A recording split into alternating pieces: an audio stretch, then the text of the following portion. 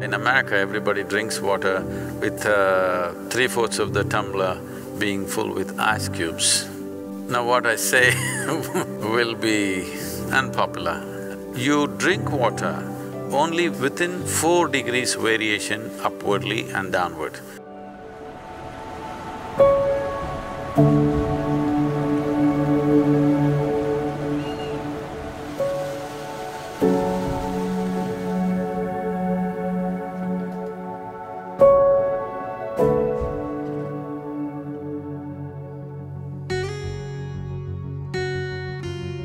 In America, everybody drinks water with uh, three-fourths of the tumbler being full with ice cubes. Now what I say now will be unpopular.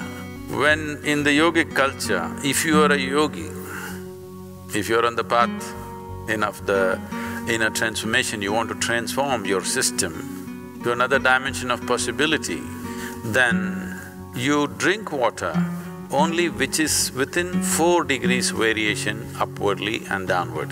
That is, your normal body temperature is somewhere around uh, thirty-six degrees centigrade. So you can drink up to forty degrees or thirty-two degrees. This is the best way to consume. If you're a student, that is, you want to absorb knowledge, you're not looking for transformation, you're only interested in absorbing knowledge, then you must drink within eight degrees variation. That is, you can drink up to forty-four degrees and twenty-eight degrees.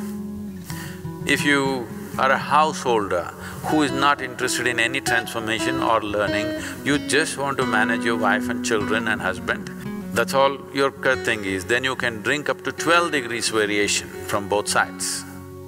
Beyond that is not considered conducive for anybody. So that's an unpopular thing to say, but it's important that whatever you consume is somewhere in the range of the body temperature, not too far away from that because it will disturb the way the water within the system behaves by consuming water or any substance which is very, very far away from the body temperature. I know the ice cream loving people and will scream at me now. I'm just telling you the ideal conditions. How many of you want to live in the ideal range or being conscious of it wherever possible, staying there is a good thing to do. If you don't feel thirsty, if you don't drink water, nothing is gonna happen, you're gonna be fine. It's only in America you will die if you don't drink water. Nowhere else people simply drink water. When they get thirsty, they drink water, otherwise they're fine, even in a desert.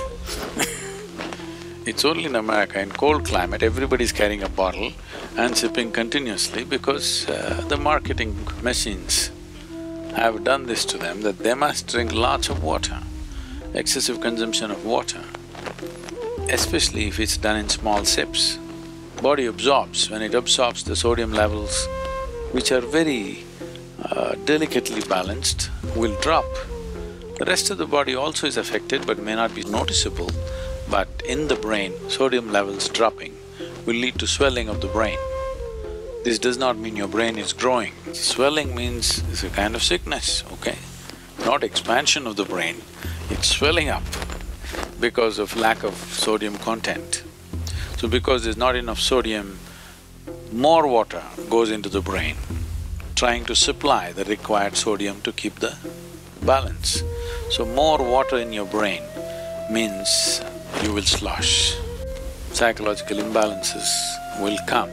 See, if you drink lots of water at one go, body will decide how much to absorb, how much to throw out. But if you keep sipping through the day, body kind of gets deceived and tends to absorb more water than it should. But let's say right now you drink two liters of water, all of it is not going to go into the system. What is needed, it'll take, rest of it will be shunted out. Nobody need to drink water simply because you think it's a good thing to do. When you feel thirsty, you must drink water just to ensure you're drinking enough. Drink ten percent more than what you actually need, a couple of cups more, just to ensure that you don't drink less. You have a certain amount of time before you can drink that it is not an emergency. At the same time, when you need water, when you're thirsty if you don't drink, it'll cause damage to the system.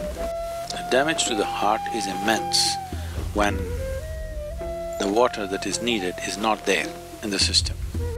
But when I say water, it is not just about drinking liquid water, you must eat high water content foods. If you eat a fruit, it's nearly ninety percent water. Vegetables and other things are over seventy percent water.